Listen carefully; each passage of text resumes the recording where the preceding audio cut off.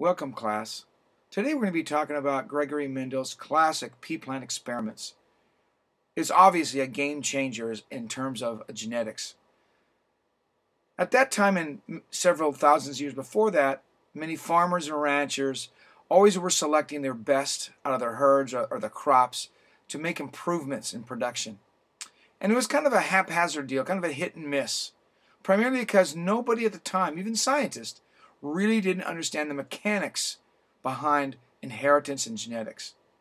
Gregory Mendel changed all of that. And that's what we're going to be looking at today. How did he do it, and what types of techniques did he use?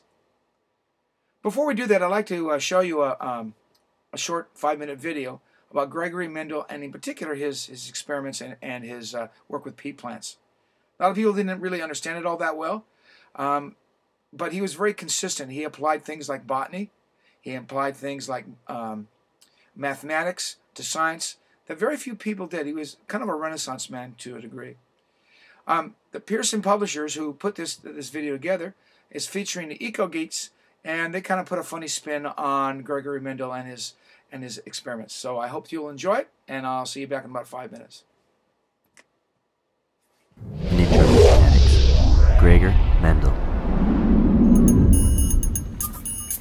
All right, stay close behind. We need to get this story. Uh, Mr. Mendel. Oh, hello. Oh, hello. I'm glad you can make it. Um, we're, if it's all right with you, we're just going to set up the shot here. Sure. Okay, just um, make sure you're close.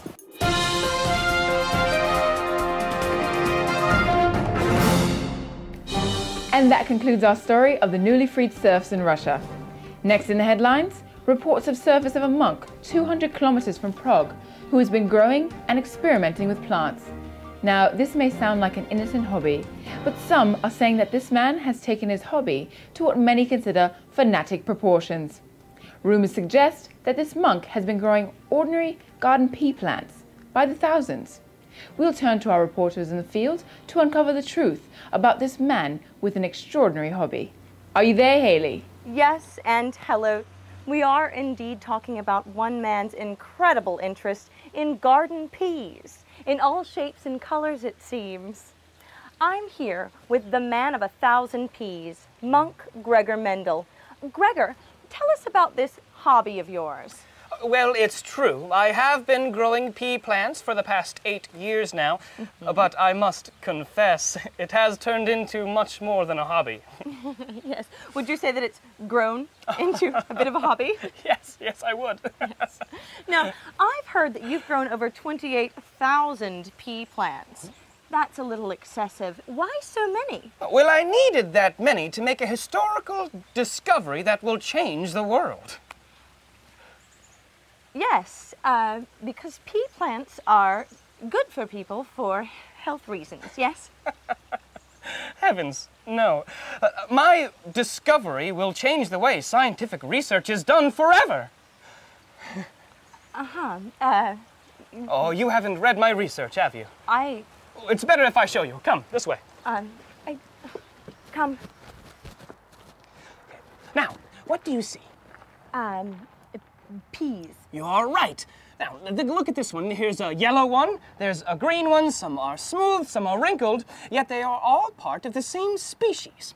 Now, when I crossbred the different types, I realized that some traits skipped a generation, and then some also reappeared in later generations. Now, I couldn't accept that this was happening just by chance. So, I first grew plants, making sure that the offspring were always the same.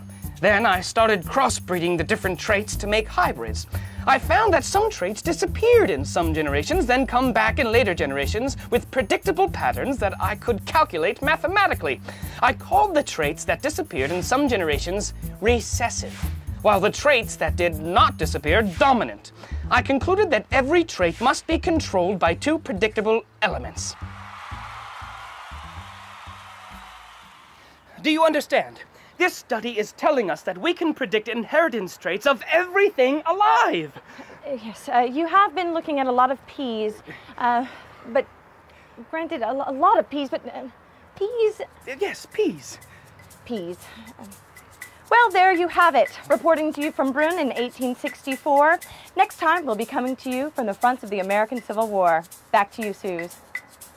Thank you so much, Mr. Mendel. You're welcome. It's great and, talking and to you. I should be getting more recognition than Darwin for any of the stuff that I'm doing here. Yes, good luck with that. Gregor Mendel, I will. Thank you. Yes. Uh, Kate, goodbye. Goodbye. Peace be with you. Thank you, sir. I'll be very peaceful here in my garden. So Mendel's time sure did come after all, although he was not alive to get the appreciation that he really deserved. His research was rediscovered in the beginning of the 1900s by European botanists and set off a scientific revolution. So the research on those little garden peas led to the discipline of genetics and brought about Mendel's principles of inheritance. But you know what? Those little elements that Mendel concluded were controlling our traits, well, today we know them as genes. Early scientists often experienced hard times getting the importance of their work accepted, but that didn't stop them from asking questions that led to breakthroughs of great importance. And as always, we encourage you to do the same because you could hold the answers to tomorrow's discoveries. Gregor Mendel here from 1864, encouraging you to never stop exploring your world. Peace out. Well, that was a nice little interlude, a humorous interlude that, that we could uh, hopefully share. But I hope that you kind of got from it the three steps. So that's what I really want to go over is those three steps to make Gregory Mendel's experiments happen. Um, but before we do that, you might want to be wondering why peas? You know, what what what? Uh, uh, why did he choose those? First of all, they were really available. He was an Austrian monk, and one of his duties as a monk was to take care of the gardens, and in particular the vegetable gardens. So he had lots of peas. And peas have a real short generation time, so that he could grow them at different parts of the year very, very quickly. Other thing about uh, pea plants is he could um, he could take them and manipulate them uh, reproductively because all of their reproductive organs are all on one flower. So you have male and female um, organs all on one flower. So he was able to manipulate them using cross pollination or self pollination. The other thing uh, that that was kind of going for him as well was, like I said before, he was a bit of a mathematician, obviously a little bit of a scientist, and he was able to combine those things uh, on pea plants. And he didn't just look at, you know, like for instance, flower color. He looked at pod color, pod length. He looked at the shape of seeds. Um, so he did a lot of different kinds of experiments and looked at lots of different traits on this particular plant. So he definitely used all his resources that, that were uh, really handy for him. But the very first thing that Gregory Mendel recognized, and he was a great observer, by the way, of uh, uh, as far as a scientist was concerned, he noticed that all of his pea plants either had white flowers or purple flowers.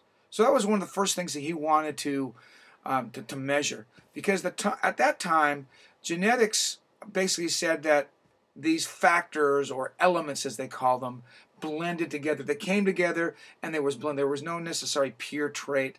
Um, so when genetic material got together it just for the most part kind of mixed and mingled like, mingled like paint. And so you got kind of a blending of of the two different traits. But he wanted to test that theory. But before he did that, he wanted to make sure that he could create a generation of seeds that always bred true. And with two only two different colors, he thought that would be relatively easy to do. So again, manipulating uh, the the plant's uh, reproductive organs to kind of fit his his particular um, uh, goal is he took the pollen off of one flower and put it back into that same flower on the, the pistil, which is the female component. And he did that for several um, uh, several generations. And he when he put the pollen, he had to bag them. And when he bagged them, that way it prevented from any kind of cross pollination or other pollen coming on. So when he did that, when he did the self pollination, he allowed the, the ovaries or the seed pods to grow and mature. And when they were ripe, he could take out those seeds. And over several uh, generations, he was able to create a purebred strain of purple plants. In other words, all those plants would have purple flowers, and then a strain of white flowered plants. So he created that. So with that foundation of his of his experiment done, he could now go to the, uh, the second step. So the first step, he created a parental, purebred strain of pea plants. The second part is he now wanted to create hybrids, crossbreds, if you will. So what he would do is he would take, for instance, a purple plant, take the pollen off of a purple flowered plant, and go to a white flowered plant and deposit the pollen into those white flowers. Bag those up, allow the ovaries to mature, ripen, and then harvest the seeds. And when he did that, kind of to his surprise, they were all purple, all of them. But the one thing that he, he saw that they were all purple, they weren't blended. So in a way, um, it was kind of going against what the genetics of the day were saying, that some of the scientists were saying is there's a blending. He didn't see any difference in color. Obviously, there's always a little bit of variation in purple, but they were still purple. They weren't kind of a chartreuse or a mixed uh, a color. It, they were all true purple. And he called this generation the F1, the first filial generation. So the first generation was the parental strain where he created a purebreds. Second, he uh, created some crossbreds that all were purple. It got him to thinking and said, what happened to that white flower? I know it was in there, but where did it go? So he created this third level of experiment, his second, uh, excuse me, his third step. And his third step is called the F2, the second filial generation. And this time, he wanted to see where all of that, that white trait went, so he self-pollinated all the purple plants. So he got those particular F1s, and he self-fertilized uh, all the purple flowers in that generation, um, that the F1s, and then it wasn't really a surprise to him in terms of seeing the white flower again, but what was a surprise to him was the consistency in which the white always appeared. So from the F1, which were all purple, he self-pollinated those, that's F2, and we, we saw that, or he saw that there were three purples to one white each and every time. So he kind of surmised that number one is that element happens in pairs. And second of all, when they're pairing up, there must be a dominant trait set up. So purple, in this particular case, must be dominant over white, which is, of course, recessive.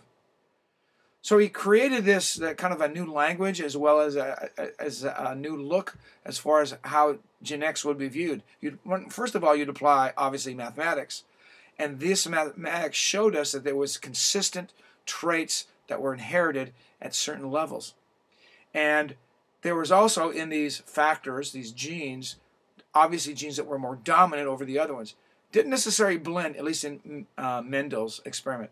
We do know that some traits do blend, but fortunately for him, the ones that he studied didn't blend. Uh, they were kind of called simply inherited traits. So that his particular experiments were definitely, as I said before, really game changing in the science of genetics. So uh, the F2 uh, allowed, allowed him to see dominant traits and recessive traits. Now, what were some of the conclusions he came up with with experiments like that? Uh, first of all, there were factors, or genes as we now know them, and one was inherited from father and one from mother. And these factors or units are passed on unchanged from generation to generation. And there are sometimes traits don't show up. For instance, in this particular case, the white flower didn't show up. It was always the purple.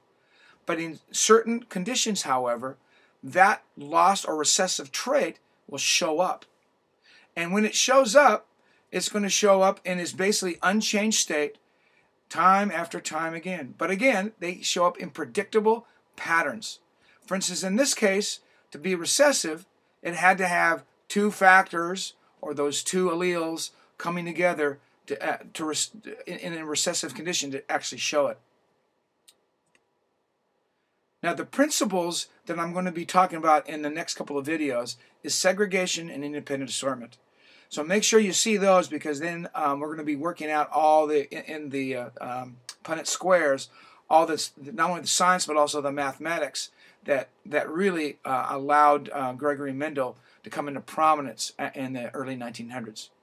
So I hope that uh, helped out and helped clear up some of the reasons why Gregory Mendel used pea plants and how he set up his his labs.